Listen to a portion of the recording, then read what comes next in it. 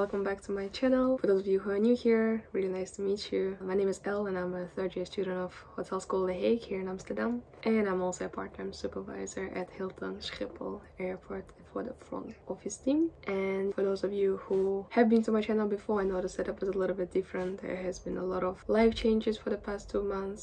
So this is my new home for the moment being. Today's video, as you see in the title, is very much different, but I did get some requests to share my lifelong journey of uh, losing weight. People wanted to know about my diet and my gym workouts and how did I get here. I'm not a professional and I did not ever consult with any kind of dietitian. This was all my self-practice and if some of my tips would stimulate you to, you know, start your weight loss journey, I would be happy. But this is purely informative video about how I dealt with my weight loss and this is not a recommendation so I hope you guys get it. So let's dive right into it. Let's start from the beginning. My mom and dad both gain weight easily. Like as a child, I was a little bit chubby like when I was even born. Let, let, let's start there. From the first day I was already a pretty heavy child. And then both of my parents struggled with weight loss throughout their lives as well. So let's leave it out there. Despite my younger brother being really good with perfect metabolism and all of those stuff I did not get those genes at all.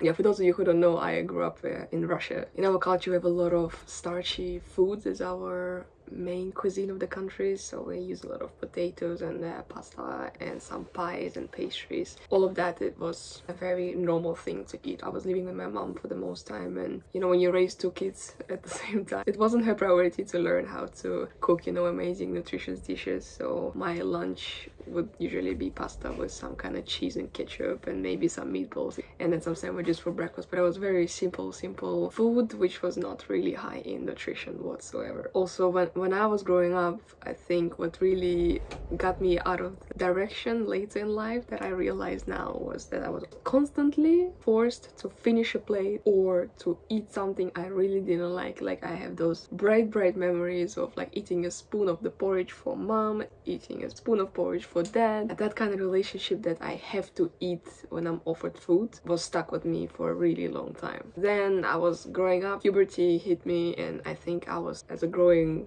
body i was losing weight naturally then we got to middle school and there i got chubby again you know when uh, eating pizzas in the cafeteria for lunch and having this constant routine of having very starchy very carby food for three meals a day and I would say that my portions were pretty big back then even though right now I don't really recall but that was the period also when it was very popular to get into dieting. As the middle school girls of course everybody are sharing the tips and tricks. There are all of those uh, public groups on the Russian Facebook that we had back then that were also stimulating try this and starving this and it was very unhealthy diet tips that I've tried them all you know. Me and my best friend were obsessed with losing weight and you know 300 grams we would fight over each other of who lost more. And you know it's funny to think about it right now but back then that was a part of the culture where we were growing up. And seeing those diets where they tell you one piece of chocolate and an egg for breakfast like there was no evidence behind those dietary requirements but I've been trying it all and I couldn't stick to any of it because it was just pure restrictions weird combinations long time no eating and it all ended up just not being effective in the long term I'll show you a picture of me in the middle school. It was really much a chubby girl and I was also really much ashamed of my body weight because when you're constantly trying to look like somebody else, then you kind of build that mindset of, yeah, I am, my body is too big. You would look at this picture and think this was fine, but I was looking in the mirror and seeing the cheeks and uh, the belly fat, that was always a problem, I think, for all the girls still in this world. And also in school, you know, the guys would constantly find ways to, you know, call you, yeah, bad words. I'm not gonna go into it, but uh, the guys in my class were not nice. I'm happy I later, when I actually got my self-esteem together, got an apology from those guys because I was telling them this is not how you treat girls and hope them to have a healthy self-image later on. And I later confronted those guys, but that was towards like grade 8. But during that time in school, yeah, it was uh, rough, you know, seeing myself and not being happy like ever. uh, but also not knowing what I'm doing wrong because I'm trying all of those things and it just doesn't work out. But it was never consistent, you know, it wasn't like I was doing a diet for a long period of time because obviously diet, it has a beginning and an end. And so we get to that eighth grade and uh, my mom remarried and we are moving to Sweden and I moved to the country without knowing the language and there was a lot of new stuff. The key point is I lost weight. Like for the first year, I think that, yeah, the environment change and uh, getting to know new people and being like starting with a completely fresh page was uh, very stressful to me and I continued on living those kind of dietary rules at least some of them. For instance at the eighth grade i know for sure i wasn't eating after 6 p.m just because I wasn't hungry after all and that was like kind of my small fasting towards the next morning food. And I was also still growing you know in the 8th grade what, what, what was I 15 and so I was still growing and you know it was pretty easy for me to lose weight back then and I think the lowest at that point was 56 kilograms. And then my trips to Korea started. I went first time in 2015 and there once again as I was growing up and I continued eating you know the very fast food the ramen I was drinking alcohol even though I wasn't 18 yet sorry mom but uh, combination of bad foods and not thinking about nutrition at all and thinking I need to lose weight but, you know blaming on the top of your head but not doing anything about it. Amazing and healthy lifestyle for this. But I was also saving a lot of money so I was eating a little but shitty food and uh, I don't recommend uh, wasn't good for my belly fat. And then 2019 kicked, uh, COVID hit, and at that point I was, I think, at the heaviest point of my life. Like I was hitting 76, 77 kilograms, and just to give you an estimate, I'm 170 centimeters. I was really into like this is not okay, and I need to do something about it. But I was also, what am I? I was 20. I knew already a lot about the dieting culture, but never thought of it being something more holistic. Me, you know, I want to be skinny for life. Thanks God, 20 year old me realized that she needs some more academic evidence about it. So, so it wasn't necessarily only about you know, the healthy lifestyle kind of thing, but more what is our food doing, what is psychology doing with us and our eating, what are eating disorders, how does sleep affect how we're eating, what does exercise do for us. But I was really into those topics and suddenly found myself really much into, you know, well-being and stuff like that. And so I figured, why don't I try more selective way of eating? But my first adjustment adjustment ever was to listen to my body. I figured that I'm forcing myself to eat so many times and put a portion that I cannot finish. Even though before that I was trying to limit my portions a little bit, but that was kind of, you know, this is my plate and that's what I'm gonna eat. But now I switched my mindset to thinking, hey, I ate and I wait a little bit and I see, okay, am I full or do I want anything more? And then I go take it. But for me, there was a big mind shift of telling myself that it's not healthy to finish a plate that I don't want anymore. kind of connecting my body and my brain a little bit. That led me into, okay, I know what nutrition components are and I knew that I wanted to try to change something in that. So I was researching into, okay, what are carbs? I, so many people say that you know there is this keto diet and so I looked into that read a couple of books about keto figured out hmm it seems like something I could try out but I also knew that cutting it off wasn't what I wanted so I just I started to piece by piece eliminating some heavy carbs from my diet. And you know just the first two three months without pasta and white bread was mind-blowingly changing. Because I was listening to my body and not eating pasta but finding new ways to fill myself with other things like trying out different vegetables. Like for instance I could tell you right away I hate crunchy vegetables. Like to eat a salad for me back then was just not a thing but cooked vegetables, steamed vegetables, satay, something like that was a perfect solution for reducing the carbs. And I remember I cut pasta, but I was still eating rice a lot, so that was helping. But after a couple of months, rice went out, so I cut most of the carbs from my diet, even though I was eating beans and stuff like that. You know, I was eating meat, fish, eggs and a lot of cooked vegetables and then some yogurt on top of that. It was really nice, you know, I was eating granola still and stuff like that.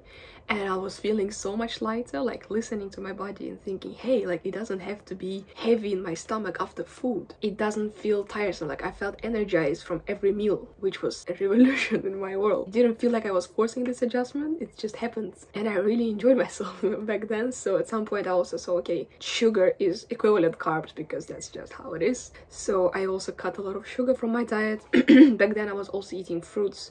I never was a big fan and just at some point I just stopped eating fruits. That energy that I suddenly gained, I put into gym. I was like, I have so much energy, I need to put it somewhere. Even though I was already having like three dancing sessions with my uh, dancing group. I also bought a subscription to the gym, and before that, trust me, I made my attempts to get to the gym. But if you would have told me back then that I would be that girl to go to the gym so many times as I do right now, made it to the gym. I just came there uh, and if before i was just you know making my attempts to do some cardio trainings i would just go to the gym to run on treadmill until I'm really tired at 30 minutes, didn't enjoy it at all and went back home. At some point I actually even tried to watch series while I'm running, which helped a little bit to be consistent, but then I quit as well. And then I was like, okay, let me try some machines, you know, I have no clue how machines work. It was like scary environment but i was like okay let myself be i will read the instructions on every machine and i will try it here and there so i made for myself a promise that okay three times a week sounds reasonable so i went there and i just tried out things didn't push myself figured out that somewhere between like 10 reps was good for me i was watching a lot of youtube videos in terms of okay what exercises can i try what is good for beginners i explored most of the machines in the gym even though like throughout the next year it was taking me time to get to some machines that were really advanced for instance the barbell i didn't touch it for the first three months. It was too scary. Like I was like, what if I drop it? I don't even know how heavy it is. I was doing like full body workouts, okay, so it was nothing special. I was just doing whatever the video was telling me to do or tried out something on my own just because I was curious. I got this really nice tip back then from Hanna Erbe, the, the Swedish influencer, that she said, try be in your comfortable clothes. So allow yourself to wear something that doesn't reveal your body if you're not comfortable with it yet. And just work out for yourself, you know, make your own space and don't mind people because everybody are there for the same reasons. You just go and do your thing. With those small steps i was going to the gym and i was doing low carb diet like almost keto. The only thing that was stepping me out from keto was the alcohol. Over the year i built my workout to be more split out in body parts. So those three workouts throughout the week became legs back and chest. And then i figured that it was too little for me for the amount of exercises i wanted to do. So i extended it to four workouts per week. For that period like for the first even half a year i didn't even weight myself. Like that wasn't my goal. I was just trying to get connected with my body how i was feeling and with my head and my heart. So when all of those got connected i finally allowed myself to weight myself. And you know everybody kept telling me i like i look like i lost a lot of weight but i'll just show you what it looked like. So i dropped from 77 at my maximum to this and i was 63 kilograms. So when I calculated that for half a year I almost lost like 12 kilograms, I was like, who knew that it was be would be this smooth? Like trying to diet so many times and now boom, I, am eating, I'm constantly full, I'm fulfilled, I'm doing exercising and I was feeling so good. Like and uh, that was me until I moved to the Netherlands where I am right now. That was 2021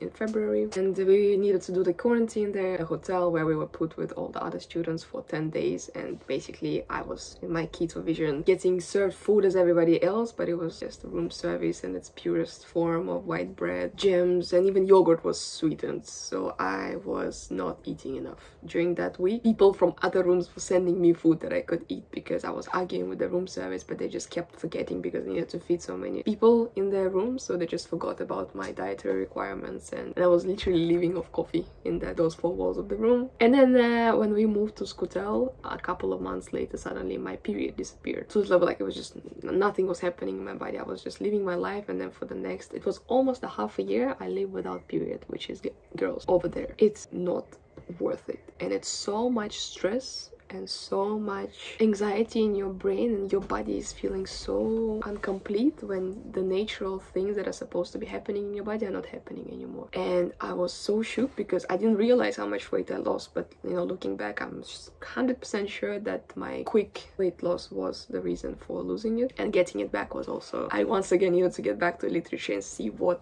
could be a possible reason for a change like that. And uh, on some video and YouTube, uh, people were recommending to take the Vitex vitamins, which I did. There was a point where I figured out that yeah, I might be missing some nutrition, that's why it's not happening. So I started to vary my diet more. But I also figured I need some carbs to gain some healthy muscles because I'm, I keep going to the gym, but my muscles are getting toned up, but they are not growing. And I figured for me, now my woman's health is gone. So I need to focus on gaining the healthy weight and get my period back. And for that, I need to make sure that I eat all the possible elements that my body needs also to be able to see more progress in the gym. So I made a strategic decision for myself. I added oats and I added low carb bread too. And for the next half a year while I was eating the vitamins, Vitex and the some additional carbs, my period came back. I still remember the day when it happened. I think I texted all of my friends being like, ooh, it's finally back. Uh, at that point, I just found myself a scale and I was 68 kilograms and you know, I was just fine. Yes, I got a little bit more checks, but I was I was happy, you know. I knew I was healthy. I was living a super healthy lifestyle. At that time in the Netherlands, I was still going to the gym four times a week. And now in 2023, I'm 24 years old and I'm still on a low carb diet. Actually, not much changed, but I'm not really afraid to eat a little bit of carbs. I, I'm in that state of mind that I know exactly which food contains what and I'm really aware of what I'm eating, but I'm not restricting myself. I fucking hate it because I know what, what kind of consequences this leads to. I still don't eat after 6.30. I want I like to go to bed without having my stomach processing food and I know that it needs the time to just sleep and clean my body. That's why I wake up always hungry so for me the breakfast is the most important part. I really like my Greek yogurt with some peanut butter, blueberries and uh, granola. That's one. If I want to have an oatmeal I would just make an oatmeal but I only try to eat that when I do a leg day on my weekly schedule. But yeah breakfast is important because otherwise I'm really grumpy and hungry for the rest of the day. I'm also the type who really don't like drinking and eating so I would first have breakfast and have my coffee at like 10:30 black coffee with some oat milk or yeah i don't drink milk i don't know. At some point i just quit and i just can't go back to the cow smell of the milk.